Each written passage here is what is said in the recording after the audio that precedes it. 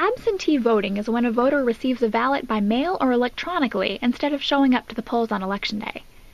Absentee ballots can be sent in from other states, other countries, and in the case of Texas astronauts, electronically from outer space.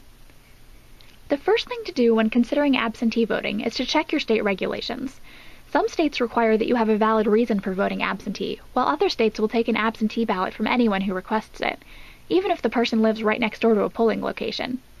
In Oregon and Washington, everyone must vote by mail.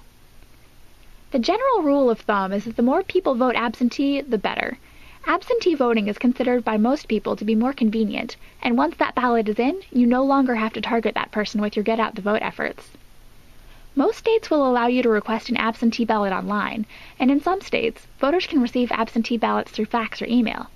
They will still need to be printed out and mailed in, but this allows for quicker delivery. In every state, you want to make sure that active duty military, students who are attending college away from home, and those who will be out of town on election day request absentee ballots. If your state allows it, you should also get absentee ballots to those who have physical difficulty getting to the polls, and those who will be volunteering for your campaign all day on election day. Again, there is a large amount of variance in absentee ballot laws from state to state, so check on your state rules and then develop a plan to get as many of your supporters to vote absentee as possible.